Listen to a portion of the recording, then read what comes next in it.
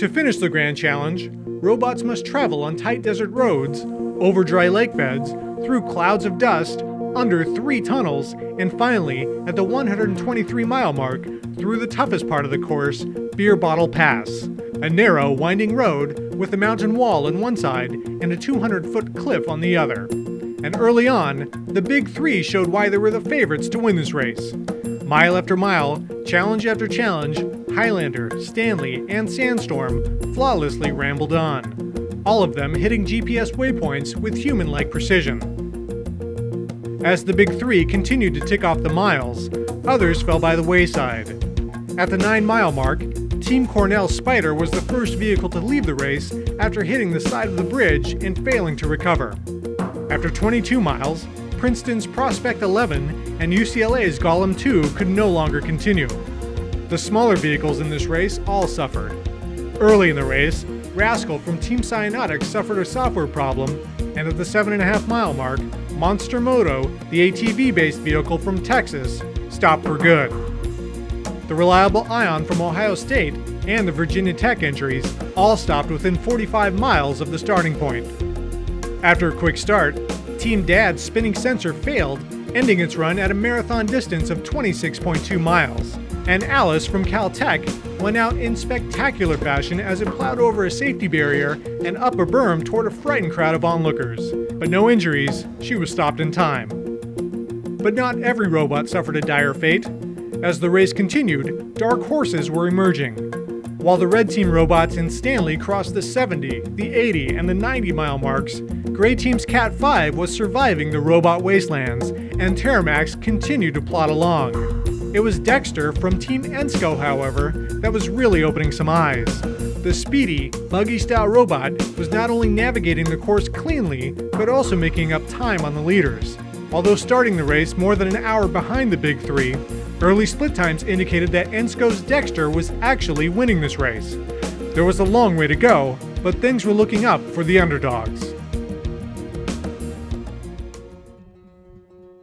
For two thirds of the Grand Challenge, everything was going as expected, with Highlander in the lead, followed by Stanley, and Sandstorm running a close third.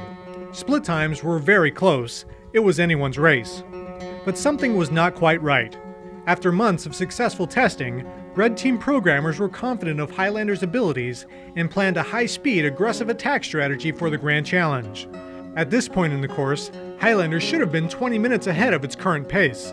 There was a problem, a glitch in the system, and it was causing the big red Hummer to limp. At the 102 mile mark, just before heading into the mountain section of the course, Stanley tracked down and passed the crippled Highlander, putting Stanford Racing Team's Volkswagen Touareg into the leader position and effectively ending Highlander's bid for glory. But there was still hope for Red Team. Sandstorm was keeping pace with Stanley, and it was still anyone's race and that anyone could have been Team Ensco. After starting 10th out of the gate, Dexter was flying through the course, steadily making up ground.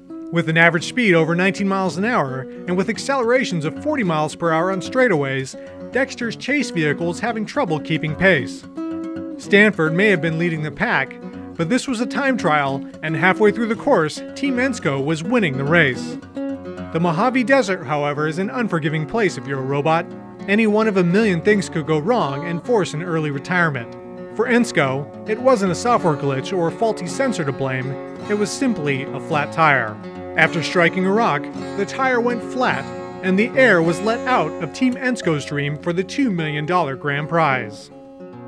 With Team Ensco out of the way, the Stanford racing team had a little more breathing room. If Stanley could safely navigate Beer Bottle Pass, it would likely win the DARPA Grand Challenge.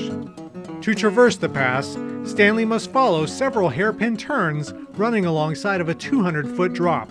The margin for error is small, and for humans, the steep drop is a psychological barrier which makes driving this mountain road a hair raising experience. But what does stress mean to a robot? It means absolutely nothing. Stanley calmly carves its way around the sharp turns and leaves Beer Bottle Pass without a second thought. With five miles to go, Stanley steps on the gas, racing toward the finish line on a dusty desert trail. As Stanley crosses the finish line, the Stanford racing team has made its way into the history books. So I didn't anticipate this to become a, a race for speed. It's one of the, the most thrilling races ever.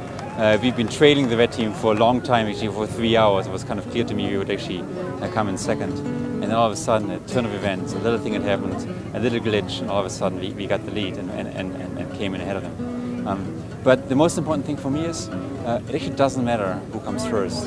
It matters that we as a, as a community achieve it. Stanley is not the only robot to conquer the Grand Challenge. Red Team's Highlander finishes close behind with the third best time, and Sandstorm arrives not much later with a second place finishing time just 9 minutes behind the Stanford Racing Team. For the Big Three, the day is an overwhelming success, but they are not alone. Hours later, after being delayed several times on the trail, Gray Team's Ford Escape Hybrid makes its way through Beer Bottle Pass, and as the sun sets, Kat-5 crosses the finish line with an overall time just 36 minutes slower than Stanley. And last, but certainly not least, Big Terramax made its way home after hours of delays and an overnight stay in the desert. Ironically, though Terramax was the slowest finisher, a platform similar to this will likely be the first autonomous vehicle the military puts into service. Overall, this year's DARPA Grand Challenge was a smashing success, especially for the Stanford racing team.